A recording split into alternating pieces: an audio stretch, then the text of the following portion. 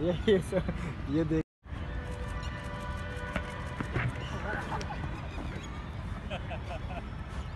Line है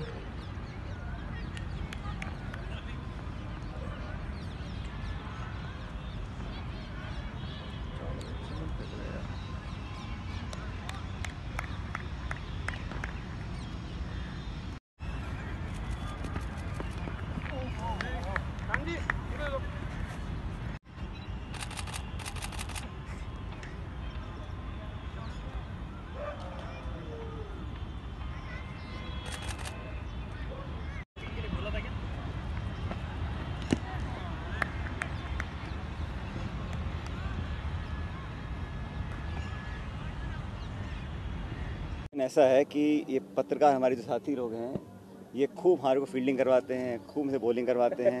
लेकिन कल पता पड़ेगा कि हम सब विधायकगण और पत्रकारों का मैच होगा। तो जितनी भी आप लोग ये भड़ा से आप निकाल लेना जितना हमें आप पे गुस्सा हम निकाल लेंगे लेकिन अच्छे तरीके निकालेंगे बैट और बॉल के माध्यम से। और मुझे अच्छा लगता है कि राजस्थान के अंदर पुरानी परंपरा है। अलग अलग संगठन हमेशा मैच करते आए फ्रेंडली मैच है। आज हमने प्रैक्टिस की है।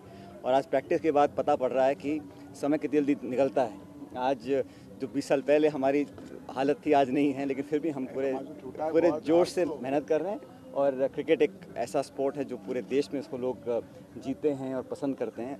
और हम कल देखेंगे कि पत्रकारों में कितना दम है और विधायकों में कितना दम है। होती है, देखो अपने अपने मुद्दे रखने हैं और लोकतंत्र में अपनी बात रखने का अधिकार सबको है। कई बार नोकझोंक हो जाती है सदन के अंदर, लेकिन व्यक्तिगत जीवन में और खेल के मैदान में सब आपस में एक दूसरे के साथ अच्छे संबंध रखते हैं रखने भी चाहिए। और लोकतंत्र की यही खुशबू है कि विचारों का अगर मिलान ना भी हो, लेकिन व्यक्तिगत संबंध हमेशा अच्छे रहने चाहिए। लद गए अब, लेकिन आज कोशिश की हम लोगों ने और इसमें बीजेपी और कांग्रेस दोनों दलों के विधायक मिलकर खेलेंगे तो विधानसभा की एक टीम है और पत्रकारों की एक टीम है। कल एक मैच होगा, फिर जो जीतेगा फिर क्वालिफाइंग करके आगे जाएगा। लेकिन एक स्पोर्टिंग स्पिरिट में, एक अच्छे माहौल में, जैसे मैंने कहा ना कि कई बार ऊपर नीचे हो जाता है, लेकिन खेल के मैदान में सब बराबर हैं, मिलकर खेलेंगे और एक अच्छी टीम स्पिरिट से हम लोग मैच कर करना चाहते हैं।